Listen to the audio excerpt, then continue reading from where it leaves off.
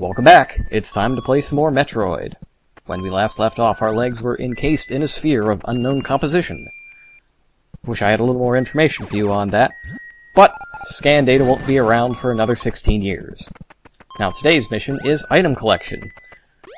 In fact, that's going to be the mission most days, because there are only three bosses to go kill in all of Metroid. Fortunately, there's plenty of stuff to grab and plenty of things to break, like that poor little Zoomer's mind. He just can't handle the thought of not having a surface to run on and spins endlessly throughout space. Now today we're going to be collecting items in Norfair. The blue and sometimes orange rocky area that we're in right now is Brinstar. In addition, there's Norfair, the place we're going, which is filled with fire, bubbles, and nastiness, and Tourian, which is filled with Metroids, lava, and nastiness. To get there, we go back to the same area where we picked up our first missiles, and also where we first saw those warp pipes that constantly spit out enemies. Now there's a classic Metroid recharge trick that people sometimes like to use, and that is standing in front of these pipes and endlessly killing enemies until they drop stuff, collecting it, and then repeating. That trick is lame, and we're not going to be having any of it in this LP. However, what shooting them is good for, and in fact making them drop stuff is good for, is that if you shoot one of the enemies that comes out of the warp pipe, and it drops something, as long as you don't collect that, and until it disappears from the screen, a new enemy cannot spawn from that pipe.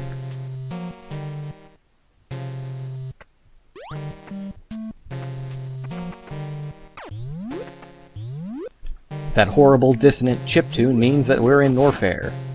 Norfair is far more dangerous than Brinstar.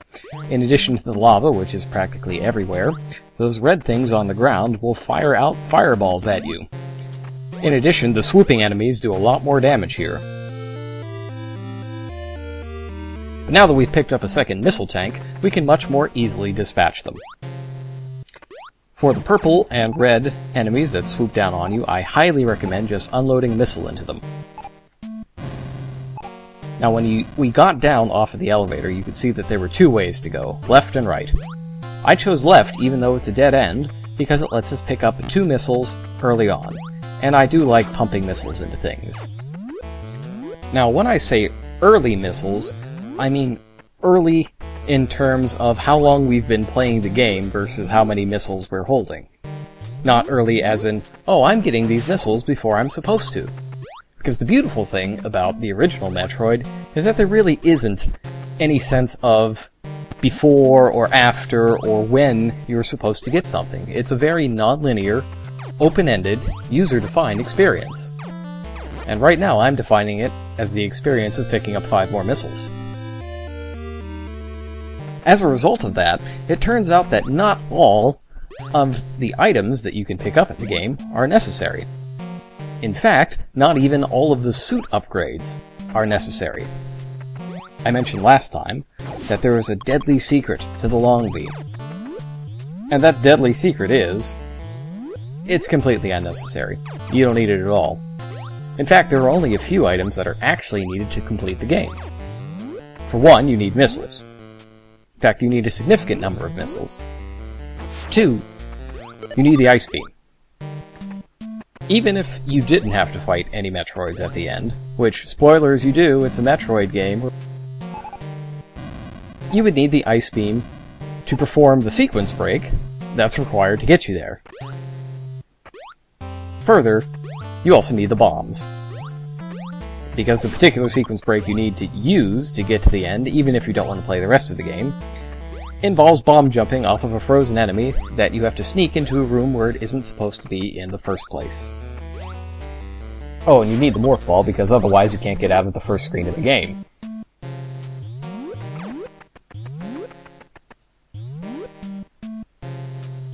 Now there's a bit of a trick to hitting these swooping enemies, and you might be familiar with it if you've played Space Invaders before.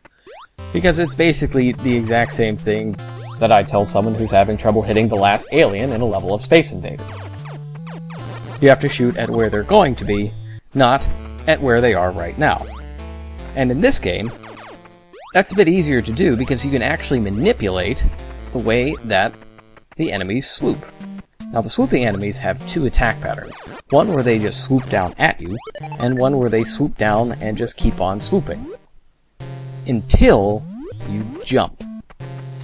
So, the trick is, if one comes down, and it keeps on coming at you and isn't going to let up until it hits you, arm your missiles, jump and fire at the same time. Missiles fly fast enough that as long as you're about mm, quarter to half a screen away from the enemy, you'll be able to nail him with the missile. Now I skipped a door up there in order to come down to this area. You know what that sound means. It's time to get another upgrade.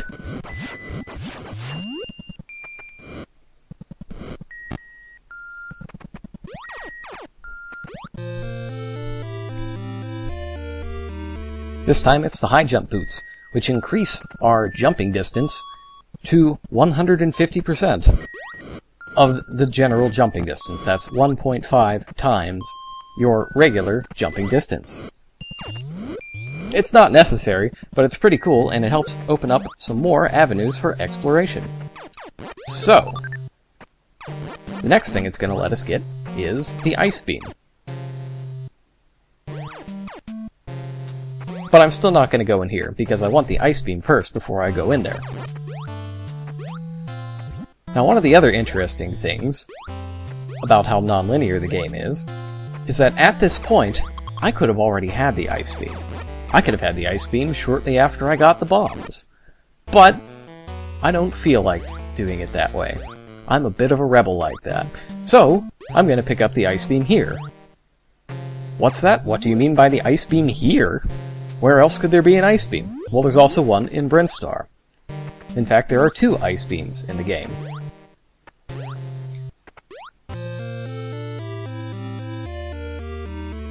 Unlike the Metroid games starting with Super Metroid, you can only carry one beam at a time.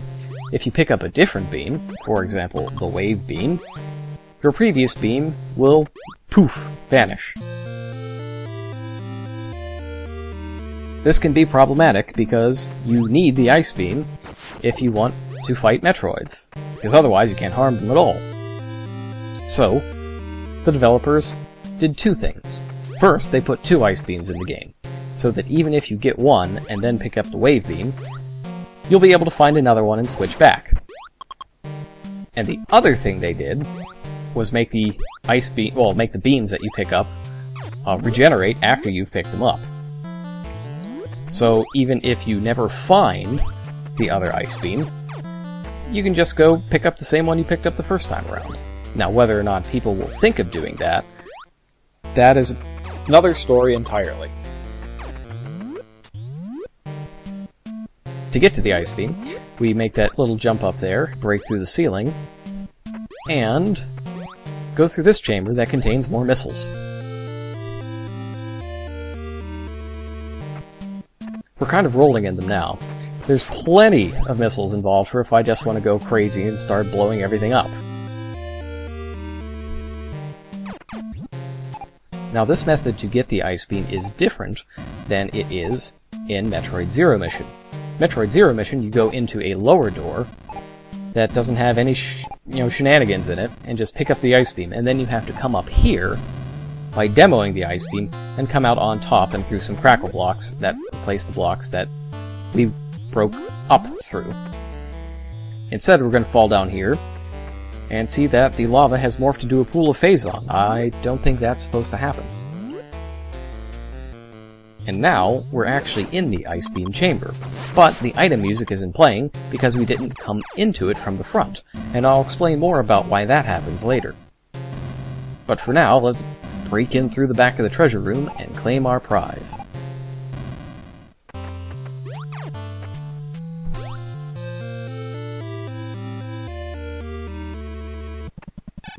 And with that, we have the Ice Beam, which gives us the incredible power to freeze anything, even the video.